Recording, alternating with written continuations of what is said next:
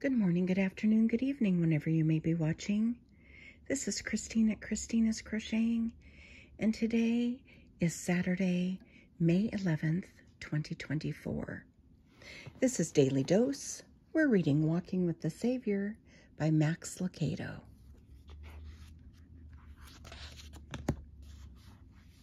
May 11, God's Mercy.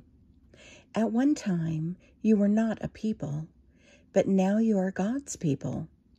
In the past, you had never received mercy, but now you have received God's mercy. 1 Peter 2:10 Man walks a slim line, clearly symbolized by the life of Paul. On one side of the line was his utter failure. On the other side of the line was the only thing deeper than his failure the grace of Christ.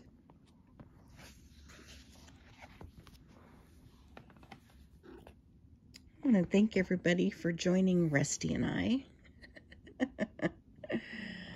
and I hope that you have a wonderful Saturday. He is right up against the camera. Sorry about that. Rusty. Oh, you don't need to come up, buddy. And just say hi to the people. All right. Thanks, everybody. I hope you have a wonderful day. Thank the Lord for his grace and I will talk to you tomorrow. Have a good one.